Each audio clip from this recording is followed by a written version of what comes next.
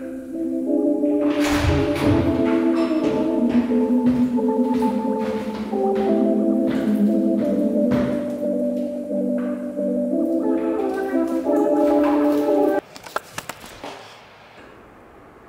don't have a workshop, so let's make one.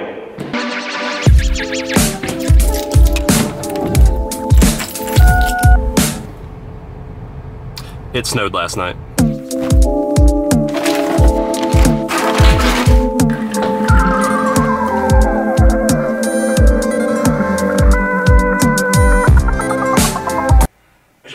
Explain what we're going to be making.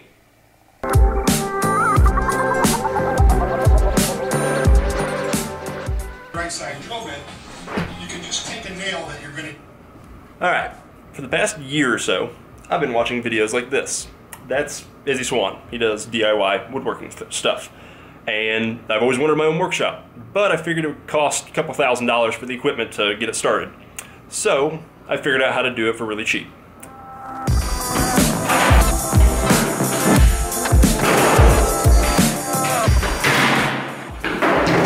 Which brings me to this. This is matrix drill. It is a combo that has interchangeable heads. Drill. Jigsaw. An impact driver, oscillating tool, quarter inch router, and, and a finishing tool. This is a We're to use all this to make a table saw, a table router, a table jigsaw. It should save us mm, about $600.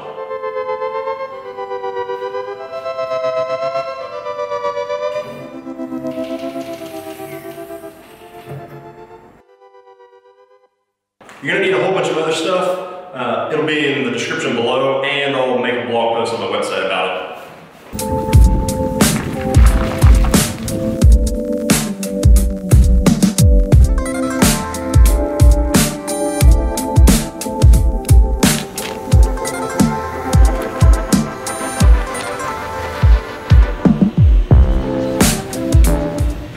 Say, uh, this is my first time walking around a store with a camera to my face. Never done a vlog. It's very awkward. Everybody's staring at me.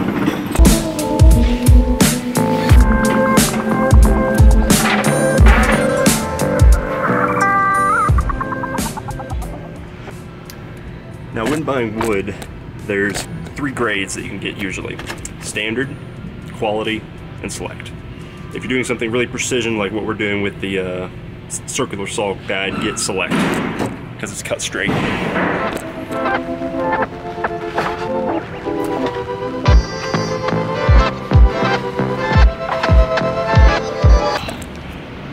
Now, when buying 4x8 sheets of uh, wood, there's a lot to select from. What you want to get is, if you're doing something that's got to be a lot of wear and tear or holding heavy things, you want to go with uh, Baltic birch plywood. The more plies, the better. And um, I'm going with the BB finish, which is the best you can get for Baltic birch. But I'm also making YouTube videos. You don't have to get that good of a finish if uh, you don't care the way it looks.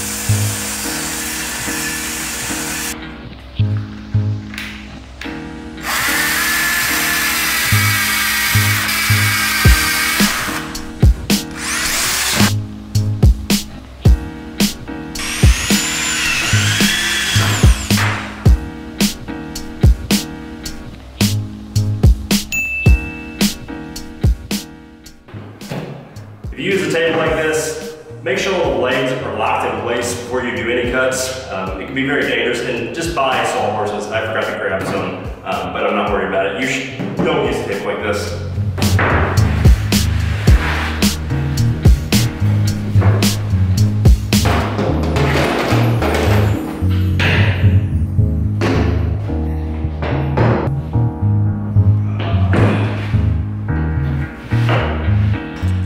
All right, so I've already messed up. I can't get my clamp in here because this board is too tall.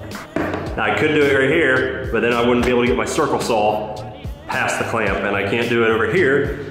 So I'm gonna show you a uh, little trick with a cantilever.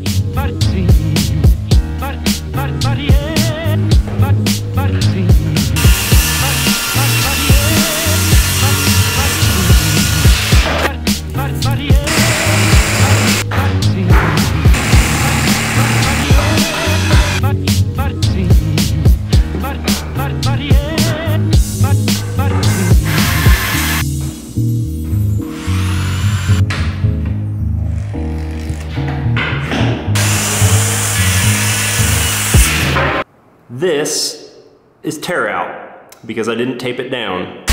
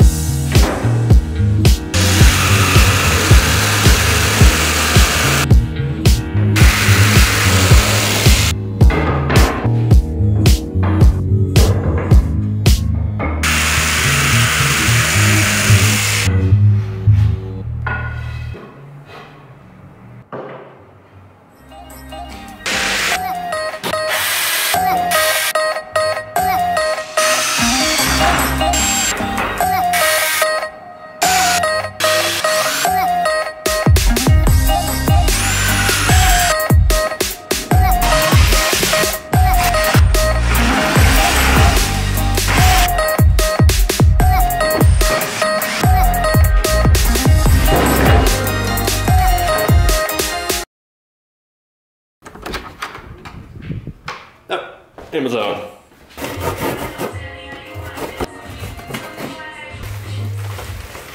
Oh, now it comes in. This allows you to cut straight lines with the circle saw. This would have been nice yesterday.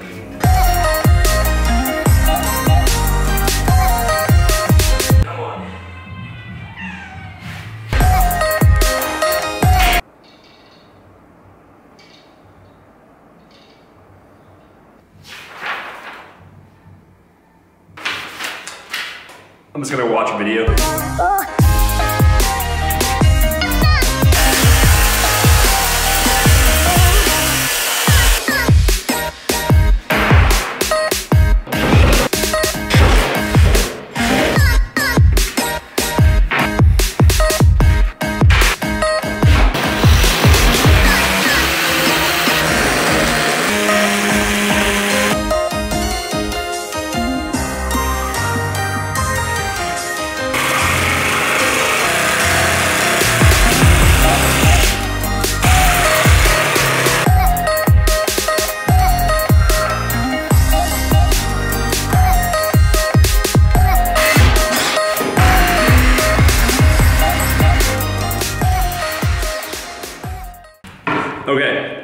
This isn't gonna work. Um, well, I could make it work, but if I put bolts through these holes, you can see that there's not a whole lot of material right here uh, to hold it onto, and it would just be flimsy and I wouldn't trust it. So instead, I'm going to cut this profile out of the acrylic. I'm just going to weld this to the plexiglass, or to the acrylic, and, and Dustin's here. Uh, he's an electrician, he's gonna help me with some of this stuff. Been friends with him since like fourth grade.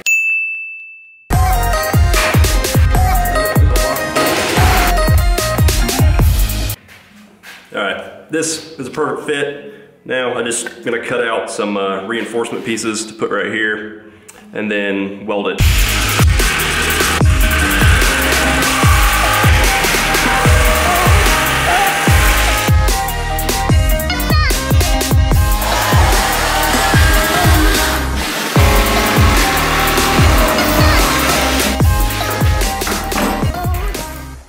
So with wood glue, the way it works is wood is porous. So when the glue goes in onto it, it actually soaks into the wood and then hardens, and that's what creates the bond.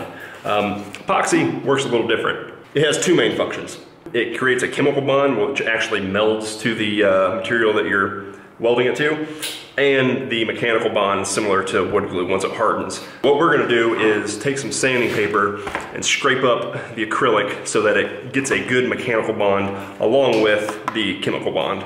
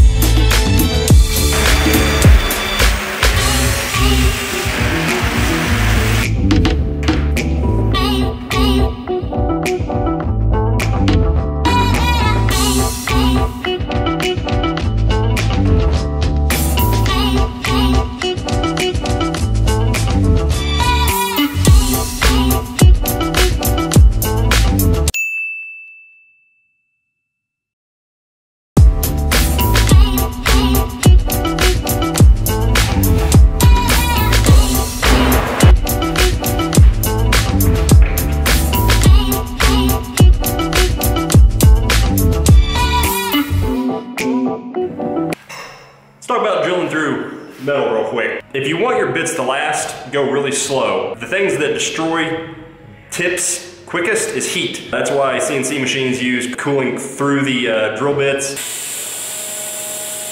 I know I see a lot of people use WD-40, but it's not actually good for your bits in the long run. I mean, it works, but get cutting well. It works way better.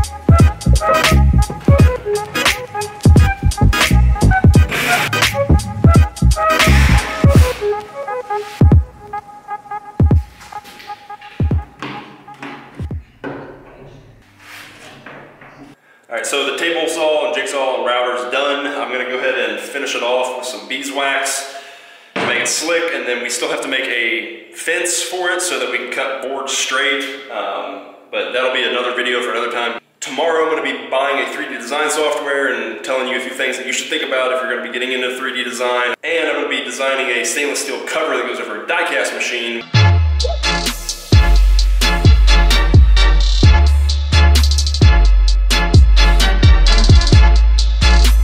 which I'll be showing you tomorrow at D1 Mold and Tool in Alexandria, which is a die and mold shop. And if you don't know what that is, it's pretty much the shops that make anything you've ever owned. Um, anything that's mass produced is probably made in a shop like you'll see tomorrow.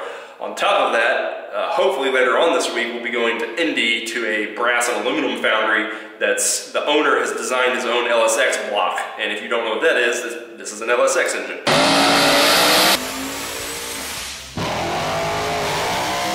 But this YouTube channel isn't just going to be, you know, building a workshop. I'm going to be traveling around and showing you the industrial side of how things are made on top of trying to do it in my garage. My job for the past couple years has actually been a green sand pattern maker. Uh, this is a 15 pound hammer that is the first pattern that I ever made actually about six or seven years ago.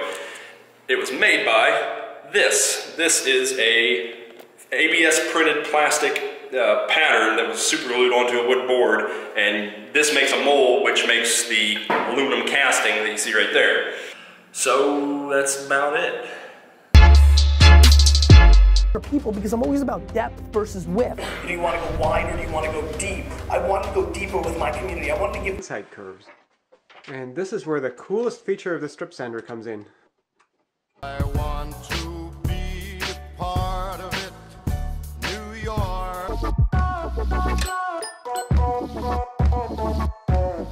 It's my need, but it's a space saver. I'm Glenn with DIY Creators, and let's make this build happen.